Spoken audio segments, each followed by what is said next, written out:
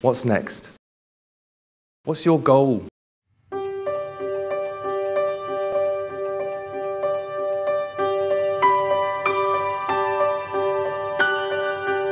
You've got to find that thing that makes you happy. You've got to find that thing that gets you out of bed in the morning, that thing that you're passionate about.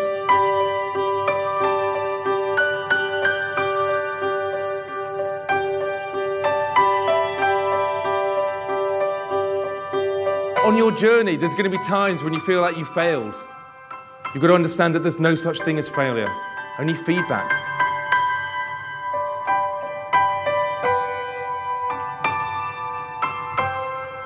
There's going to be times when you're struggling towards your goal. Whatever you do, don't change the goal, change the path.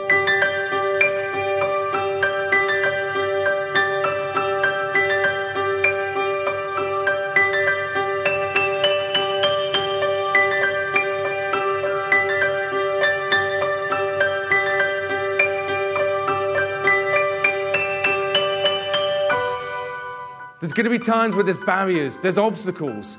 You've got to see those barriers and obstacles as excuses. And don't lean on your excuses, but instead, turn your excuses into challenges.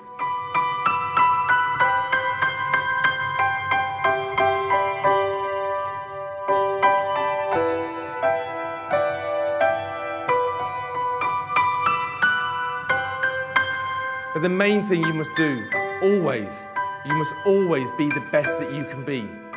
Because if you do that, I believe that every single one of you will have no regrets. And if you do that, I know that every single one of you will achieve your gold.